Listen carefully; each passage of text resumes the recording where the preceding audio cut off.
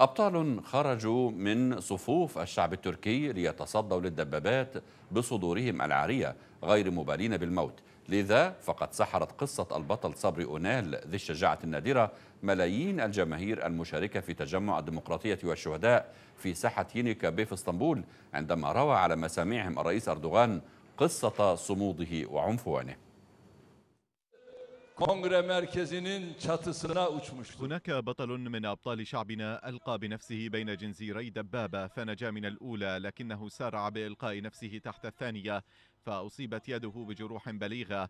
ولما وصلني الخبر اتصلت به هاتفيا لأطمئن عليه فقال لي دعك مني يا سيادة الرئيس وأخبرني كيف حالك أنت؟ أرأيتم في حياتكم شيئا كهذا؟ لا شك أنها حالة روحانية مختلفة إنها عشق عميق بل هي إيمان إلهي ساطع.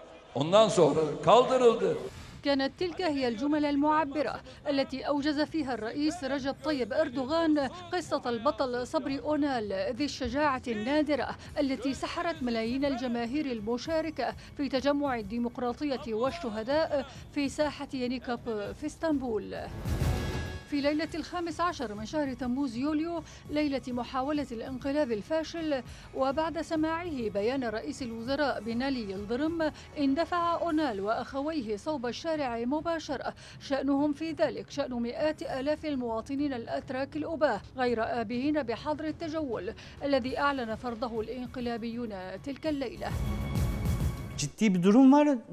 وأنا في طريقي إلى أسكودار أخذت معي ثلاثة أحجار صغيرة.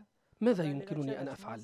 ولما وصلت إلى جوار المركز الثقافي في باجلر باشا رأيت دبابات تتجه نحوي وهي تطلق النار وسمعت أحدهم يناديني انبطح أرضا غير أني قذفت أحجاري الثلاثة في وجه الدبابات القادمة وظننت أنها قادمة لتدهسني فأخذت ألوح لها بيدي لكي تتوقف وأنا أصيح.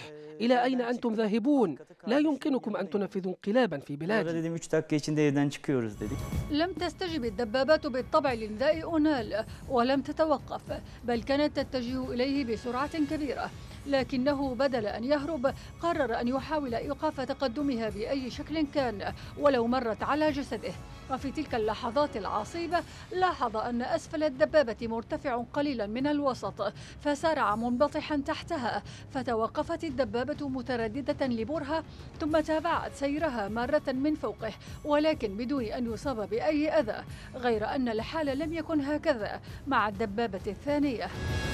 saldırdığı ve işte karakollardaki polislerin لم أكد أنهض من تحت أول دبابة حتى عجلتني دبابة أخرى مسرعة فانبطحت من جديد تحتها.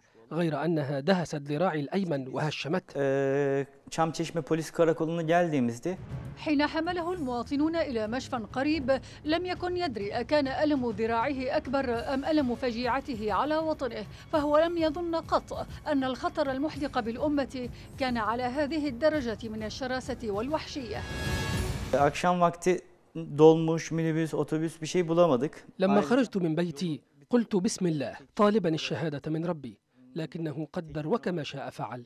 روحي فدا وطني وأمتي أنا روحي فدا الإسلام. İlerleyemedik. Bu durumda kardeşlerime şey dedim, siz eve gidin. مع خيوط فجر اليوم الجديد أخذت تتوارد أخبار النصر المؤازر على الانقلابيين الخونة الذين باتوا يحارون إلى أين سيهربون. وعندها فقط تنفس البطل أنال الصعداء واستراحت نفسه الأبية لانبلاج شمس الحق من جديد على بلاده العزيزة تركيا